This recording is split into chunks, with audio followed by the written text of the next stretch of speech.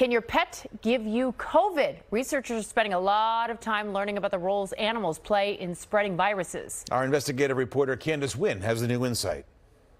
Last year, we told you many scientists believe COVID 19 could have started on a bat, jumped onto a pangolin or another wild animal, and then spread to humans. But what about the animals in your home? Can they spread it the same way? We investigate.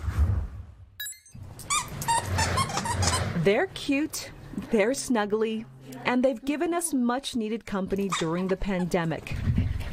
But can your pet get infected and spread COVID 19? To find out, we visited UC Davis Veterinary Medicine Teaching Hospital. Here, 125 vets treat more than 60,000 animals each year. Everything from dogs to horses, even fish. We do know now that dogs and cats can be infected with SARS coronavirus too. Hey, Bevo.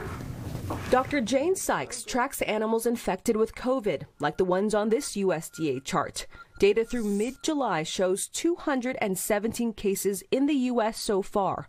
More than 40% of those were cats. Researchers believe that's because cats have closer contact with humans compared to other pets. They often are very close to people's faces when they're sleeping in beds with people. So you're saying because cats are more snuggly a lot of times? Yes, a lot of times, yeah. While Scottish researchers euthanized one cat because it got so sick from COVID, recent studies show the vast majority of infected cats and dogs exhibit mild symptoms or none at all. The important point is, is that the infection is spreading from people to the animals, not animals back to people.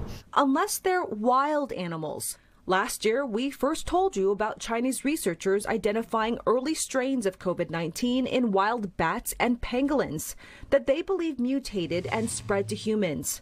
When the virus gets into wild populations, researchers say it's impossible to control.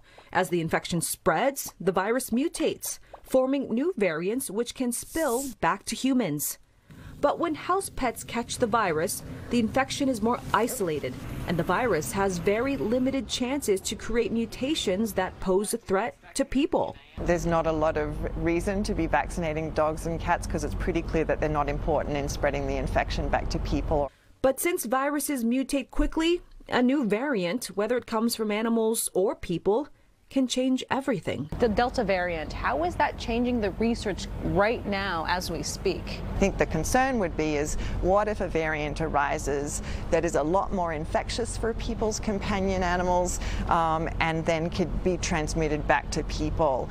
Right now, there's no evidence the Delta variant can infect pets and then spill back to humans. But Dr. Sykes says it is crucial scientists continue to keep a close eye on any variant and its potential impact on all of us. Candice Nguyen, NBC Bay Area News.